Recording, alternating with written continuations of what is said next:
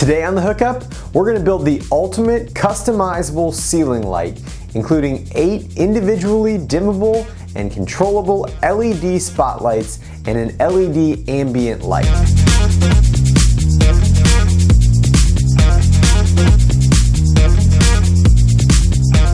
In addition to smart home technology, one of my other interests is design, where I often lead towards a more modern aesthetic. Around 10 years ago, I built this entertainment unit for our family room. But when we moved into our new house, the lighting never really seemed to match. After looking around for the perfect light for our needs, I decided that building it myself seemed like the best option. After a quick mock-up in SketchUp to look at different lighting configurations, my wife and I decided on a design and it was time to start building.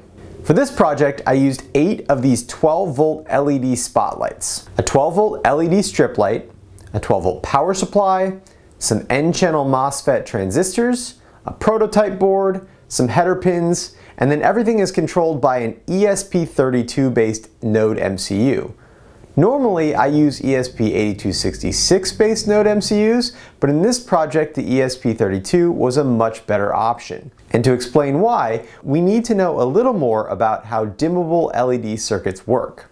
When dimming an old incandescent bulb, a dimmer switch worked by adding a variable resistor into the circuit, which would effectively limit the current flowing into the bulb. Because there was less current, the filament heated up less and therefore produced less light. Dimming an LED isn't quite as simple, since they generally operate at narrow voltage and current ratings. Instead of sending less current, the LED dimming is done by rapidly turning the current on and off in a process that's called pulse width modulation or PWM. If you were to turn a bulb on for one second and then off for one second, you would produce half the light that you would if you had just left the bulb on for the full two seconds. But you would obviously notice that the bulb had turned off. If you instead turn the bulb on for a millisecond and off for a millisecond, and then you repeat that process over and over for a full two seconds, you'd notice that the bulb was 50% less bright, but you wouldn't notice that the bulb was flashing. Since the lights are on for 0.001 seconds and off for 0.001 seconds, that means that the whole cycle takes 0.002 seconds. And we can complete 500 of these cycles in one second, which is called its frequency. And it's measured in hertz. The unit hertz just means number of times per second. And since we can do 500 cycles per second, this is a frequency of 500 hertz. The second part of a PWM signal is called the duty cycle, which is the time that the circuit is on divided by the total duration of the cycle. In this example, we turned on the light for one millisecond and our cycle duration was two milliseconds. So our duty cycle is 50%. The duty cycle determines how bright the LED appears, and the frequency determines how noticeable the flickering is. I love the ESP8266 based Node MCU, and I use it for the vast majority of my projects. But it generates a PWM signal using software and processing power. This means that when the Wi-Fi traffic gets high, or if you're using the processor to do some other calculations, it will lower the PWM frequency in order to compensate for that which results in noticeable flashing. The ESP32 has eight built-in independent hardware PWM channels, which are timers that aren't responsible for anything other than producing a consistent PWM signal at insanely high frequencies, up to 300,000 Hertz. For this project, I'm going to use a more modest frequency of 600 Hz because it's generally accepted that humans can't perceive any flickering in frequencies over 200 Hz. So we'll triple that just to be safe. Some cheap LED bulbs end up with frequencies around 60 Hz due to the way that they switch between AC and DC current. This can cause headaches for some people. But these bulbs should be buttery smooth because of our ESP32 control. You'll also notice that the bulbs that I used for this project specifically say that they are non-dimmable. But this actually only refers to their power supply circuit. And since we're providing our own power supply and our own driver, all we need are the LEDs. And there's actually no difference between dimmable and non-dimmable LED chips. So buying the non-dimmable type will save us a few bucks. Enough talking, let's build some stuff. I started out by cutting the 14 inch by 14 inch square that would become the main light. I used a table saw to cut down some leftover birch plywood that I had laying around from another project, but you absolutely don't need a table saw for this project. A circular saw or a jigsaw or even a handsaw would work fine. Next, I cut the pieces that would become the base of the light.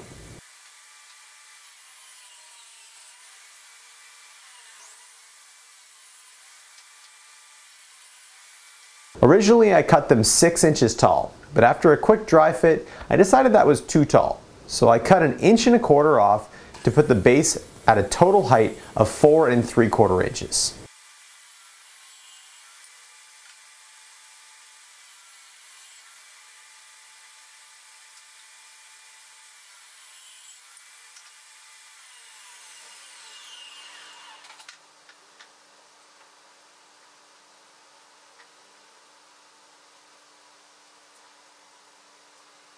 Then I drilled pocket holes to attach everything together so you wouldn't see any noticeable fasteners on the outside. I've gotten a bunch of use out of this Kreg Jig Junior and it's significantly cheaper than the full jig. If you like to build things and you don't have a pocket hole jig yet, I highly recommend this one.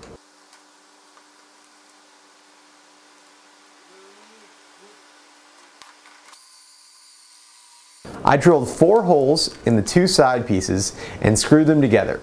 It was too tight to fit a screwdriver inside when I was putting the, the, final sides together, so I used a socket wrench to drive the final four pocket screws in.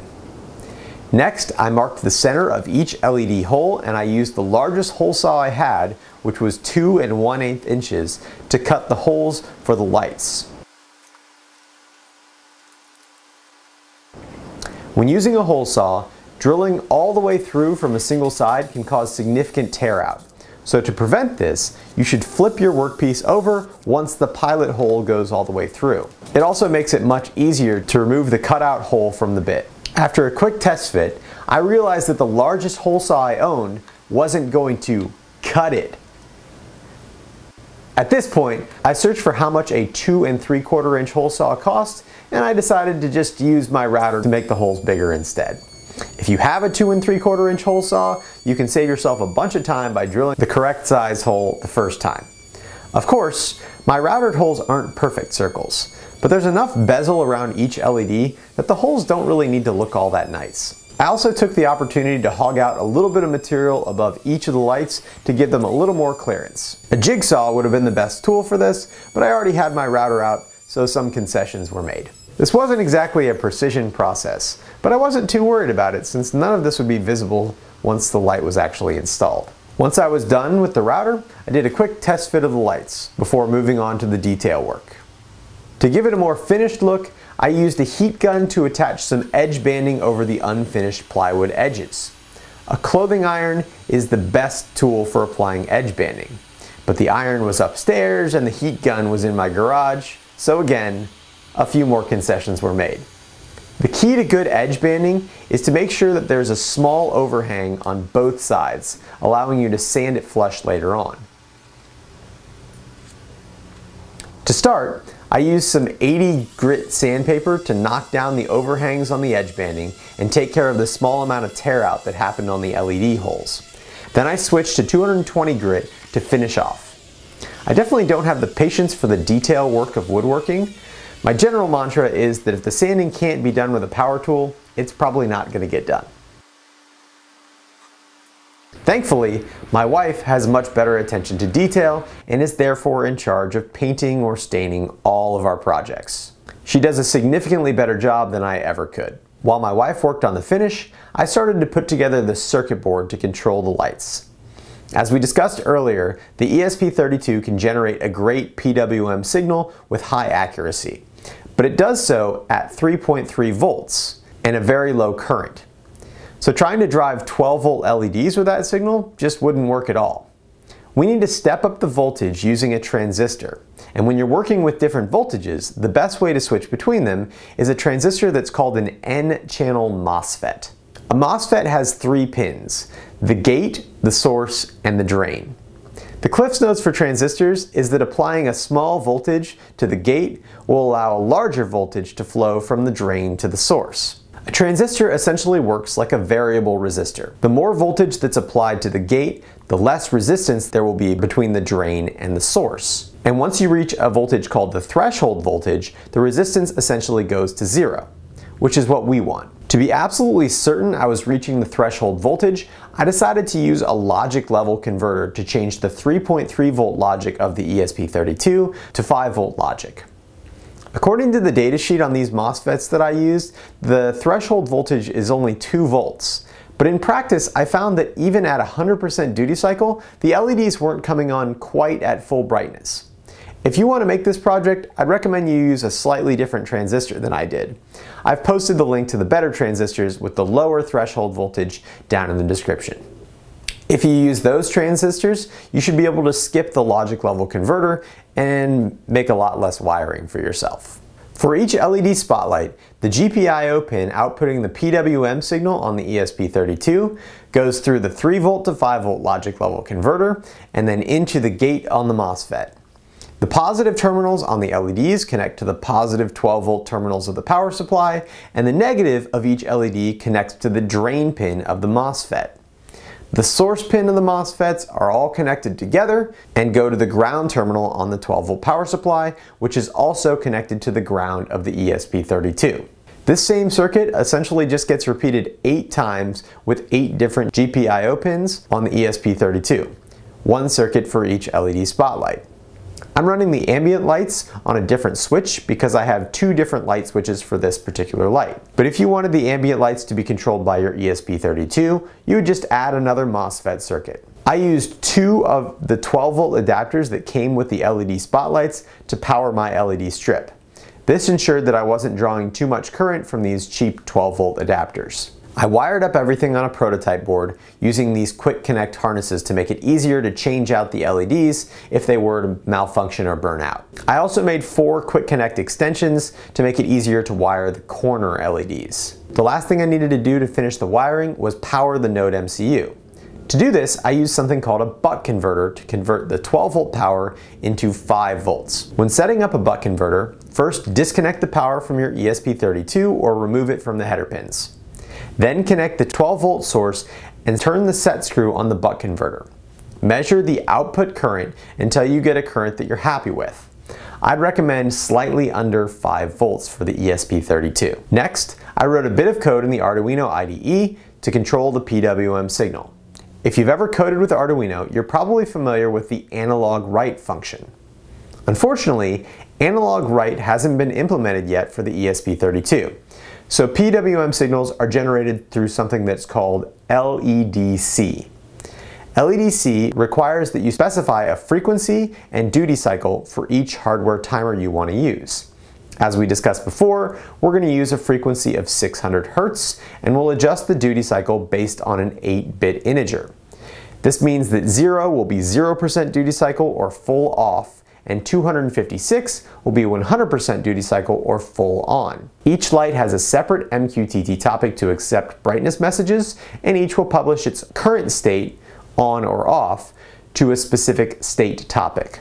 I'm controlling my light with an open source home automation program called Home Assistant, specifically the version of it called HASS.io. If you've never heard of it and you want to get into home automation, I highly recommend you check it out. In my opinion, it is absolutely the best consumer grade option there is. And it has an amazing community of users out there willing to help you get started. In my configuration file for Home Assistant, I'll add these eight entities under the light domain, one for each LED spotlight.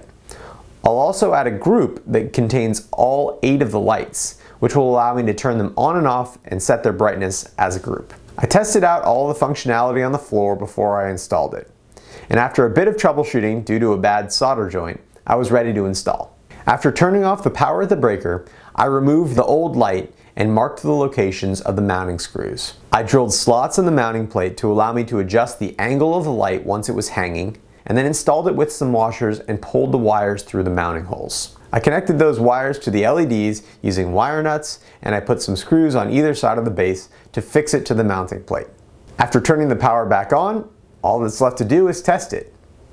Each channel can be controlled individually or as a group and can be set to a specific brightness by my Amazon Echo Dot. Alexa, turn the spotlights to 30%. Okay. Alexa, turn the spotlights to 10%. Okay. Overall, I'm really happy with the way this project turned out. And the lights are really bright, even though I bought the 3 LED version. Total cost of this project for me was around $60, since most of the parts that I used were left over from other projects.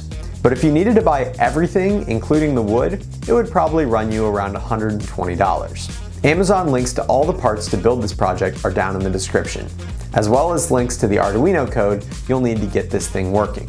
If you run into problems while making this project, you can leave a comment, and I generally respond within a few hours.